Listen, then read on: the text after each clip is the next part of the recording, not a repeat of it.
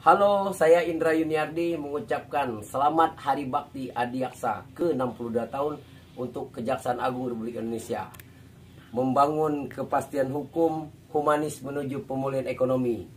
Bangga melayani bangsa.